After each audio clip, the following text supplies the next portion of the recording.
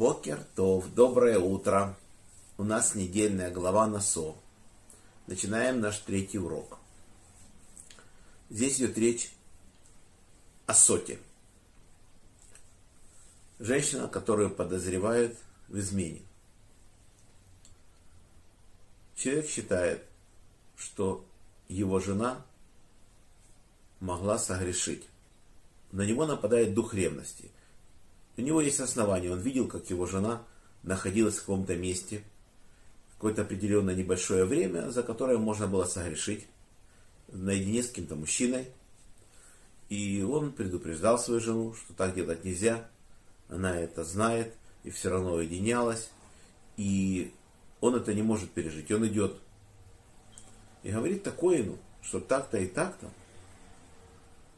что на меня напал дух ревности – и я хочу свою жену привести для испытания сотой. Что такое воды соты? Брали воду родниковую и брали землю в храме,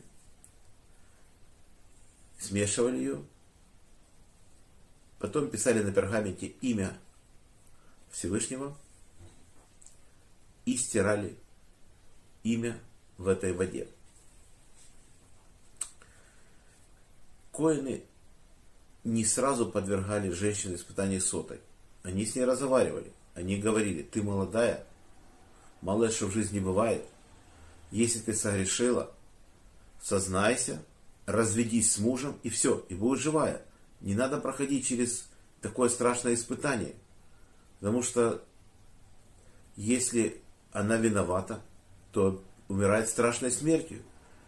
Ее внутренности все начинают отказывать, вздувается живот, вздуваются бедра, и она умирает очень тяжело. И она будет опозорена.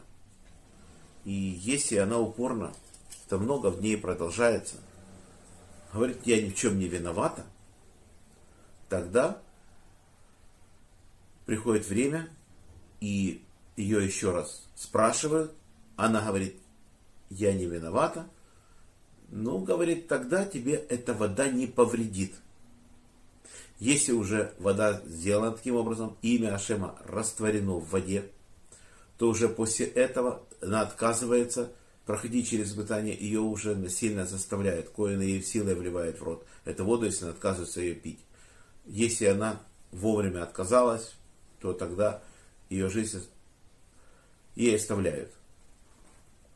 Значит, если женщина виновна, мы понимаем, что происходит, но если она не виновна, не согрешила она,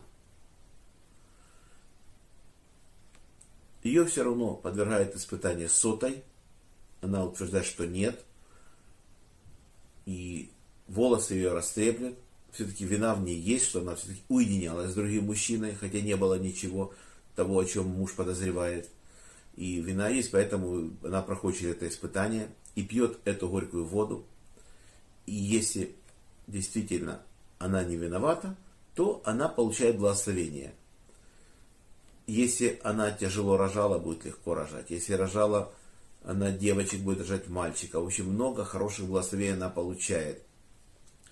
И то, что она виновна в том, что она уединялась, будет искуплен этот грех – еще, еще интересно рассказывается нашими мудрецами, что были две сестры, они похожие были, как две капли воды друг на друга, и одну из сестер муж подозревал в измене,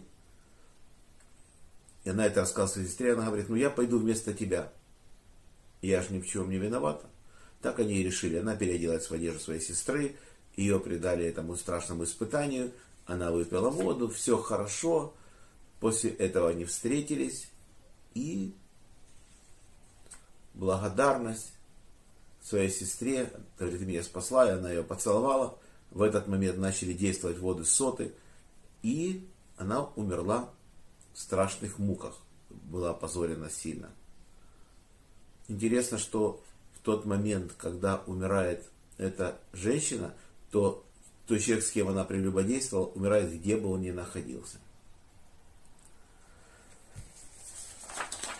Урок был дан за поднятие души моего папы Яков бен Нахум, моего дяди Владимир бен Григорий, моего брата Павел бен Ефим, Хая Малка бат Йосиф, Мира бат Авраам, Роза бат Михаил, памяти Ури бен Харитон, Мендель бен Мендель, за здоровье Светлана бат Клара, Шимон бен Ицхак, Борис бен Мария, Анна бат Ривка, Полина Пер бат Соня Сура, Лена бат Клара, Женя бат Ида, Анна бат Елена, Евгений бен София, Двойра бат Мирьям, Моисей бен Ева, Ирина бат Двойра, Йосиф бен Раиса, Инесса бат Маэль, Евгений бен Берта, Евгения бат Ита, Фира бат Анна, Геннадий бен Елена, Леор бен Клара. Замазал Парасас Гула Ирина Батури, Арон Арье бен Ури. Заросший дух Арон Арье бен Двора, Низ бен Нахум, Авигаль бат Сара. Всем шарват шалом. Подписывайтесь на мой канал, ставьте лайки. До следующих встреч.